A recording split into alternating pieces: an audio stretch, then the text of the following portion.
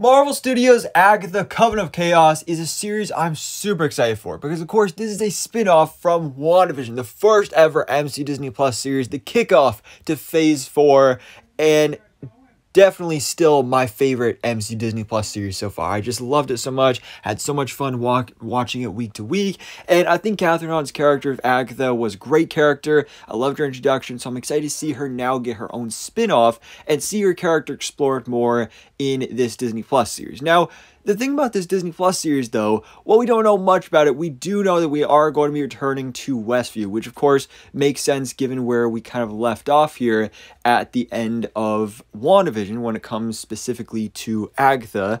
Um, you know, she was uh, put under a spell by Wanda to make her think that she is still in this whole Westview sitcom hex reality thing. So, makes sense we're going to be seeing some other characters from that show popping up that were residents of Westview. So we just got an announcement of basically the rest of the cast for for Agatha Coven of Chaos. Done a couple videos on this. Of course, Aubrey Plaza is going to be playing the villain. We have um, Joe Locke is supposedly going to be playing an, a teenager version of Wiccan, aka Billy Maximoff. So that's really exciting. But today we got the rest of the cast. Um, so of course we already knew Emma Caulfield was returning as Dottie, so that's super exciting. Debra Jo Rupp is back as Mrs. Hart, which is another one I'm really excited for because I loved her inclusion in WandaVision because, you know, of course, she's like the sitcom queen, Friends, that 70s show. She's returning for that 90s show on Netflix. So, really cool to see that she's coming back for this, even though she had a very small role. Uh, she really killed that scene, so I'm excited to see her make a comeback here as well. We also have, of course, uh, Asif Ali as Norm, another one of my favorite side characters in that show from Westview. He was just a really interesting character character to follow along with.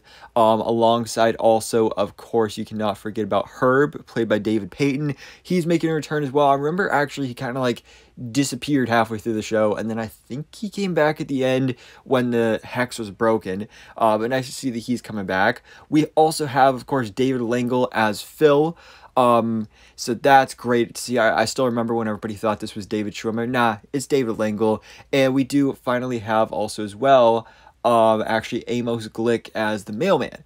Um, so that's really cool to see all of them make return. Of course, um, this will be after the hex is broken, so they're all, you know, pretty mad at Wanda and probably are going to be mad at Agatha as well. Um, so they're back to their like normal selves. So this mailman guy isn't even a mailman in real life. Um, who knows? We may even see uh, a little Ralph Bohner cameo in here. You never know.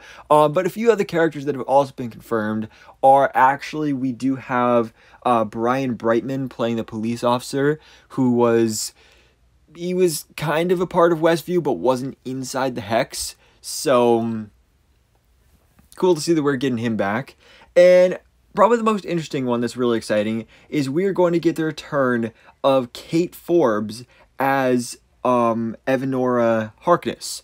Uh, so, of course, the mother of Agatha Harkness, who seemingly was killed by Agatha in WandaVision when we got the little flashback of, of her origin story. Now, I'm assuming she's still dead. Then again, she's a witch. You know, she could always come back. But I feel like there's probably going to be some flashbacks in the show, which is something I'm really excited to see. You know, it's the Coven of Chaos. So I'm really excited to see not only the WandaVision elements, and obviously we know rumors of like Mephisto being involved here as well, but to see flashbacks of how Agatha got to where she is with her Coven, possibly building a new Coven present day.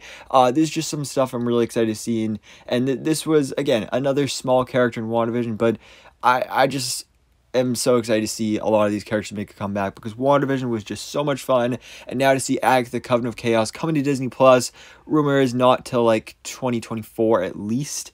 Um, but I'm really excited for this one. So, uh, anyways, guys, let me know your thoughts in the comments below. What do you think about these updates and new uh, cast members for Marvel Studios' Agatha Coven of Chaos?